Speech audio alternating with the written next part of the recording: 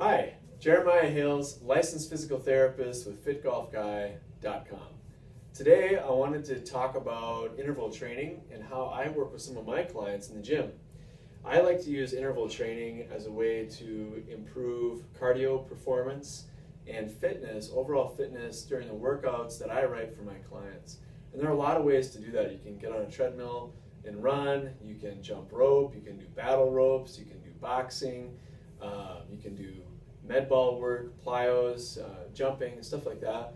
Uh, one of the things that I use a lot though is called an Xiser. It's a stair stepping machine um, that works really well. I like it because it's virtually impact free, so it's easy on joints. And for my clientele, a lot of them are over 50 and impact is kind of hard on the body.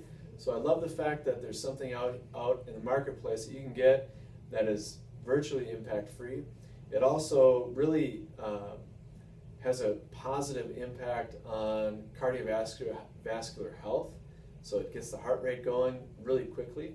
And it requires balance. And balance is something that's really important in developing a good golf game. And uh, it's versatile. So you can use this stair stepper and do other things at the same time. I like to play catch with my clients. I'll give them a body blade to shake. Uh, we'll do some, we'll lift weights, you know, do some shoulder presses, uh, stuff like that.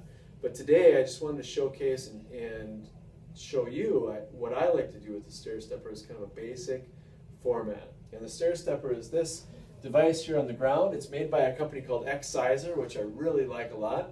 It's a high quality machine, as you can see. There are two foot pedals, and then in the center there are some pistons that help provide control and resistance to the machine. It's really easy to use. You just set it on the ground, and then you step onto it. Now, the trick here is that you want your weight to be back in your heels. So when you step on the machine, you want to get the pedals to level themselves, okay? And once you have the pedals level, then you get your weight back in your heels a little bit, and then you start pistoning your legs up and down. And I'm really focusing on keeping my weight back so my heels do not lift off of the pedals. And I'm also trying to keep the pedals from hitting the ground. So I don't want to hear this clicking sound. Probably hear that.